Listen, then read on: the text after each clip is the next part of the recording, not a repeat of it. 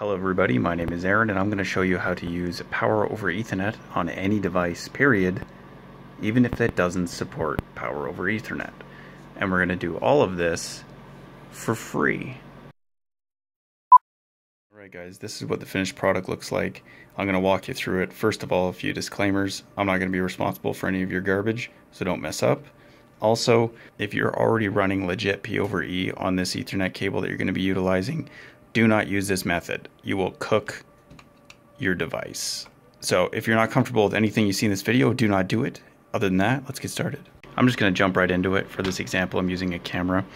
That's what most of power over Ethernet needs are anyways. This particular camera does actually support P over E. The one in the picture does not because it's a different camera, blah, blah, blah. Anyways, I attempted to make P over E run on this with my own home setup, but you need a 48 volt power converter, which nobody has. So I figured out how to do it without any of that jazz. Everything that comes in the box with a camera, you can use to do power over Ethernet. The key point is you need your power supply, you need your Ethernet cable, and I'll tell you what I'm doing here in a second. And then it would be preferable to have a connector bit, but unnecessary. So let's get started. Ethernet cable has 8 pins. As displayed on this female connector, there's an A and B configuration. Power sent over Ethernet goes on pins 8, 7, 5, 4. And thus, does not matter if you're in the A or the B configuration because those pins don't change ground is brown, brown, white, and positive is blue, blue, white. And that's all you need to know. So in order to do this, I'm using a separate female-female connection because then that means that I can use um, this power over Ethernet solution with any Ethernet cable and not just the one that was pro provided in the box.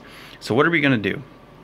Well, we're going to take your 5 volt power supply that came with the camera and we're going to splice it into the wire running on these pins that don't have any data or any transfer running over them and these pins then run down the cord and on the other side we will splice it into your power plug and pop it into the camera right out of the ethernet.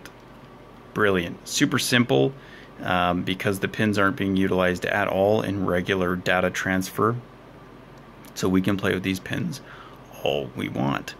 So let's get started. We're going to start with the end piece. We're going to work backwards. So what connects to the camera? Let's start with that. Okay, so what have I done? I've hacked off the end of the power cord because you weren't actually going to use it anyways if you were to have a real P over E solution. So hack off the end of the power cord. So this is the plug that goes into the back of the camera. Why aren't we focusing? There we go. Now that you got to figure out what's positive and what's negative. The dotted line is positive. The either completely white or completely black line is negative. Dotted line's always positive. The outside of this is negative, and the inside of it, down, see that circle in there? That's positive. So we're going to wire these onto our pins. So blue is positive and brown is negative. I'm going to solder that right now. All right, so there's my pins and they're soldered. You don't actually have to solder, you can just twist and tape. But because this camera is going in a high production environment and it needs to be up, I'm going to be um, soldering for sure. So I got the dotted on the blue and uh, the solid on the brown. So let's go to the other end of this where the power is going to be served up. Okay, so here's the other end where we're going to be serving up our power. Once again, the reason why I'm using this female to female is because now I can put it on any cable and my length doesn't matter. Whereas if I put the power injection right onto this um, cable, I only have the four feet to the camera, five feet to the camera, and then that's as long as my cable gets because I'd need to have this plugged into a wall somewhere. Does that make sense? So I strip back the wires and we're going to put it on this female to female. This is the camera side, this is the switch side, or the uh, router side, depending on your setup. Here's the kicker. I pulled off my, my uh, brown and blue, which we're using. The kicker is we don't want to push power backwards into the switch side. That would be bad. Okay, so what we're going to do is uh, I disconnected the pins here, so there's no power going this way, but there is power going this way. Okay. Um, the same if you're just going to use a single cable. Make sure you don't send any power back out the other end. You want to break it and only use this end of the wire to send the power. So how are we going to send the power? Exact same way we dealt with it last time, and we're going to solder the pins together, positive and negative.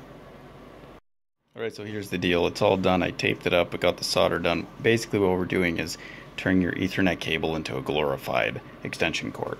Here's what the back of the camera looks like. Okay, all taped up, ready to go. Um, we're gonna give this plug, we're gonna plug this in and give it a go. So let's get started. Boom, just plugged it in and as you can see there is power.